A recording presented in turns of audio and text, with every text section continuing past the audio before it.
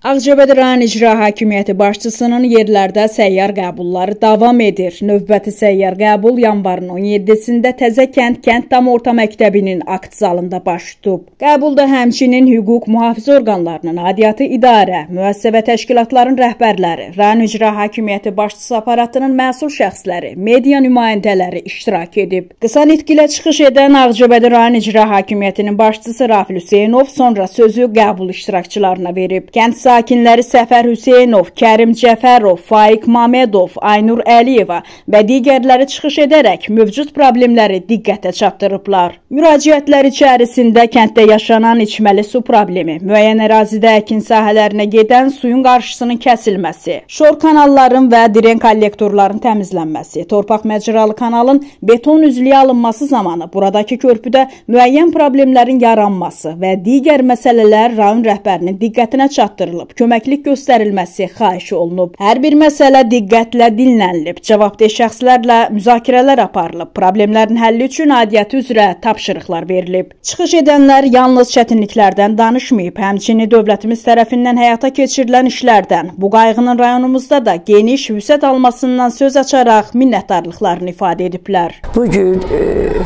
kəndimizdə rayon rəhbəri ilə səyyar qəbul keçirildi. Mən o qəbuldan çox razı oldum. Rayon rəhbəri kənd cəmaatının problemləri ilə maraqlanır. Onları üzə çıxardır, onların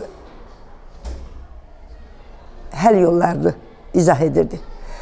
Mənim ondan əlavə qazi anasıyam. Ən çox ondan ona görə razıyam ki, o, oğlumun o pis vaxtlarında o dəfələrlə bizə gəldi. Ona öz minnətdarlığımı xüsusilə bildirmək istəyirəm. Düzdür, kəndimizlə də maraqlanır, kəndimizin problemləri ilə o öz yerində. Amma ailəlikcə biz ona borçluyuq.